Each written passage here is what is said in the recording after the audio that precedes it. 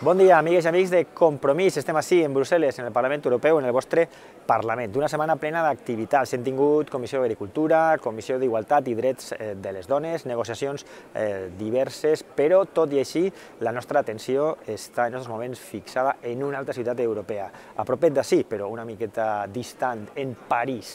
Per què? Perquè s'està celebrant, com sabeu, la COP21. I aquesta cimera de tots els estats per a intentar posar remei a l'escalfament eh, global global al canvi climàtic que ens pot conduir a una situació d'absoluta desesperació, o una situació incontrolable en la qual es produirien moltíssimes coses que ja s'estan produint i que causarien problemes eh, socials, migracions, eh, fam, mm, sequera, etc etc. Tot això ho sabem, els científics ja ho han dit molt clarament, però si no posem mesures ja les coses no funcionaran. Els discursos d'inauguració d'aquesta COP21 van ser molt bons, el que esperem és que d'allí isquen eh, mesures a més que siguin d'obligat compliment, vinculants per part dels estats, perquè si no, en les declaracions no fem res i la situació s'està complicant molt. I respecte a això, he de dir que eh, ahir visquérem així en el Parlament Europeu un punt, un moment que eh, per a mi diu molt i que va ser eh, certament molt decebedor i molt trist. Tinguérem un mini plenari, una mini sessió plenària que dura una vesprada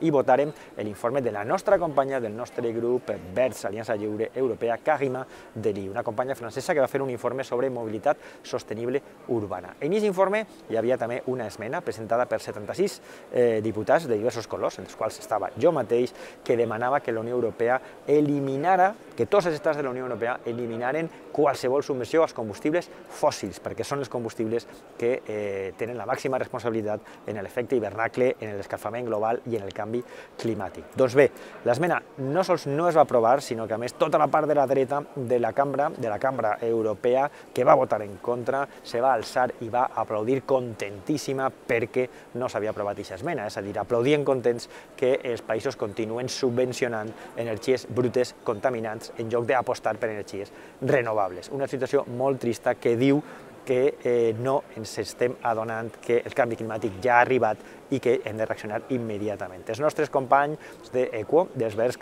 diuen molt sovint una frase que m'agrada utilitzar. Eh, si tenim un plan A i no funciona, probablement podem tindre un plan B. Però si es carreguem el planeta A, la Terra, no tenim un planeta B. Per tant, hem de continuar, hem de treballar i hem de ser molt clars per l'urgència que tenim damunt. Defensar la sostenibilitat és defensar el futur, però també el present, perquè el canvi climàtic ja està així.